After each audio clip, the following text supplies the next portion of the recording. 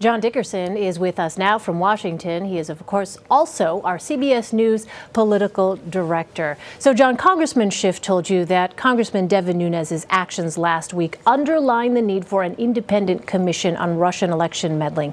Help us make sense of where this investigation has moved since Director Comey testified on Monday. Well, it's a good question. It's a moving picture. And so, what you've essentially got is that uh, the chairman of the committee has said that uh, he has some evidence and is waiting for uh, sort of the corroborating evidence, which uh, should be forthcoming perhaps as early as next week, that in surveillance that was done, some Trump uh, officials or members of the Trump campaign were caught up in other kinds of surveillance.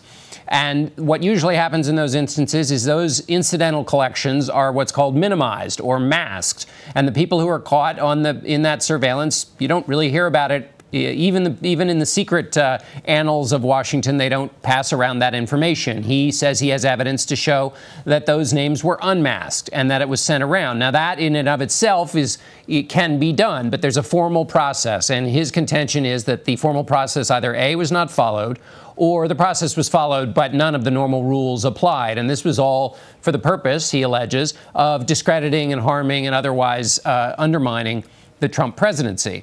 So that's the assertion he has made, and uh, Congressman Schiff, the ranking member, uh, the ranking Democrat on the committee, is highly skeptical, in part because he hasn't seen what the chairman has seen and they are supposed to get uh, more information. You, you basically have to fill out a form to unmask people. Those forms are gettable, and so we should have an answer to this at some point in the next couple of weeks. All right, we'll be watching for that. Well, let's move on to health care. Republican Senator Tom Cotton told you that his party should have taken a more, quote, careful and deliberate approach to its health care overhaul.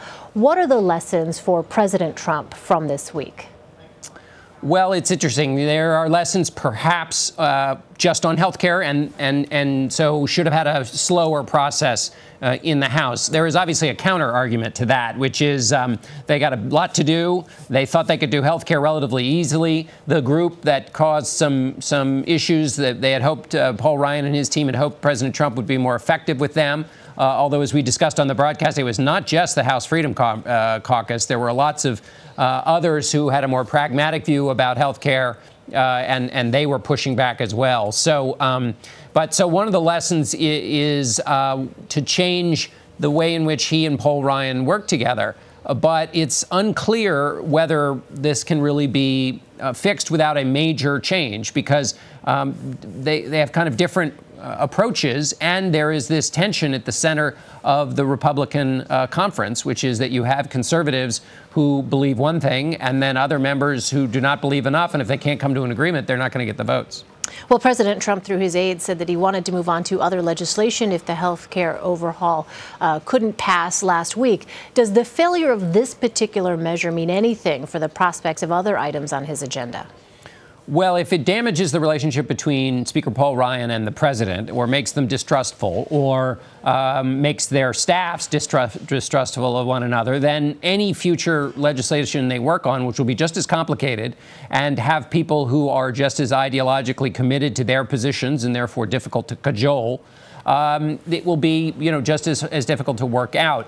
Uh, one possible lesson here may be that Donald Trump needs to get to work earlier and in as robust a way as he uh, has on other issues that he cares a great deal about. Uh, and so maybe more more effort by the president. But the challenge for any president is the more you extend a president in and engage them in the process, uh, the more that is, that is on the line for that president. Uh, so that's one of the reasons that sometimes you only bring the president in at the very end. Um, but it's um, getting that balance right will be just as hard on future big items like tax reform as it was on health care reform. All right. John Dickerson in Washington for us. John, thanks very much. Thanks, Elaine.